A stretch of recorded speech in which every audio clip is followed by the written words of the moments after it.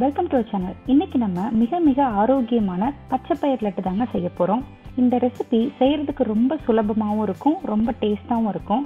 வாங்க எப்படி செய்யறதுன்னு பார்க்கலாம். நம்ம சேனல் சப்ஸ்கிரைப் பண்ணாதவங்க சப்ஸ்கிரைப் பண்ணிக்கோங்க. பக்கத்தில் இருக்க நோட்டிஃபிகேஷன் பெல் ஐக்கான் ப்ரெஸ் பண்ணி அதில் ஆல் அப்படிங்கிற ஆப்ஷன் செலக்ட் பண்ணிக்கோங்க. ஃபர்ஸ்ட் ஒரு பேன் வச்சுக்கோங்க. நான் இன்னைக்கு ஒரு கப் அளவுக்கு பச்சை பயிர் எடுத்திருக்கேங்க. மிதமான தீயில வச்சு கைவிடாமல் வறுத்துக்கோங்க.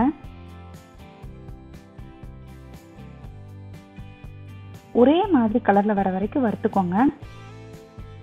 நல்ல மனம் வந்துடுச்சுங்க இந்த அளவுக்கு வறுத்தா போதும். இதை இப்போ கொஞ்ச நேரம் ஆற விட்டுட்டு அப்புறமா நம்ம ஒரு மிக்சி ஜாரில் சேர்த்திக்கலாம். எந்த கப்பில் நம்ம பச்சைப்பயிர் எடுத்தோமோ அதே கப்பில் முக்கால் கப் அளவுக்கு வெல்லம் சேர்த்திக்கலாம். கால் டீஸ்பூன் ஏலக்காய் தூள் சேர்த்து அரைச்சிக்கோங்க. குறை குறைப்பாக அரைக்காதீங்க. எவ்வளோ நைஸாக அரைக்க முடியுமோ அவ்வளோ நைஸாக அரைச்சிக்கோங்க. இப்போ இதை ஒரு பவுலில் போட்டுக்கலாம். கொஞ்சம் முந்திரி பருப்பு பொடி பண்ணி சேர்த்திக்கோங்க. நெய் ரெண்டு டேபிள் ஸ்பூன் சேர்த்திக்கலாம். நெய்யை நல்லா உருக்கி சேர்த்துக்கிட்டிங்கன்னா உங்களுக்கு பிசையிறதுக்கு ஈஸியாக இருக்கும். இப்போ இன்னும் கொஞ்சம் நெய் சேர்த்து பிசைஞ்சுக்கலாம்.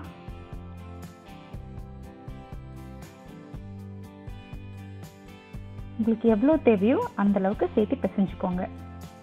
இப்போ எல்லாமே நல்லா சேர்ந்து வந்துருச்சு. இப்போ நமக்கு லட்டு பிடிக்கிற பதத்துக்கு வந்துருச்சுங்க. லட்டு நல்லா சாஃப்டாக இருக்குது இந்த ஆரோக்கியமான பச்சைப்பயிர் லட்டை கண்டிப்பாக செஞ்சு பாருங்கள் எல்லாத்துக்கும் ரொம்ப பிடிக்கும். செஞ்சு பார்த்துட்டு எப்படி இருந்துச்சுன்னு எனக்கு கமெண்ட் பண்ணுங்கள்